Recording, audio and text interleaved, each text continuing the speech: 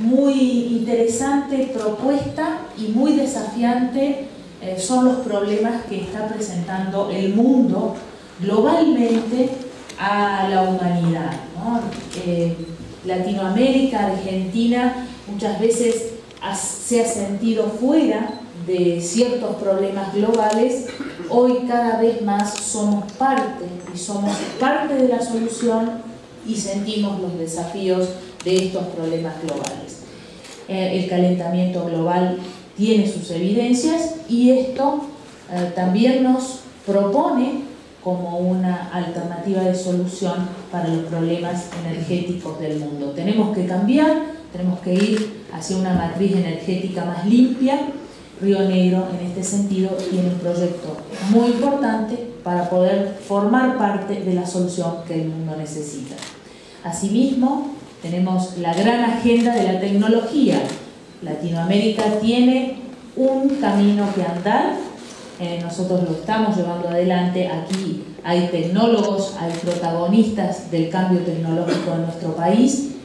particularmente San Carlos de Bariloche tiene una matriz una capacidad instalada en cuanto a profesionales en materia tecnológica. INVAP es un emblema, pero tenemos muchas eh, otras organizaciones, instituciones públicas y privadas que trabajan en torno a la tecnología. Así que todo lo que la Unión Europea viene a proponer encuentra oídos muy atentos aquí en San Carlos de Bariloche. Una oportunidad que me permite compartir con ustedes el lanzamiento de esta llamada o llamado para que se presenten proyectos que la Unión Europea va a financiar para que la sociedad civil trabaje conjuntamente con nosotros en los grandes temas de participar defensa y desarrollo de los derechos humanos y la democracia, por una parte, y cómo hacer frente a los grandes desafíos de nuestro tiempo.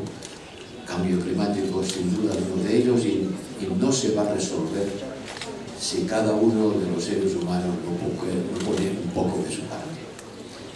Tienen que ser los gobiernos, tienen que ser las grandes organizaciones políticas, pero tiene que ser un compromiso de todos y de cada uno de nosotros para nosotros desde la Unión Europea es una manera de ponernos en contacto con la gente de todos los países en los que estamos intentando construir lazos.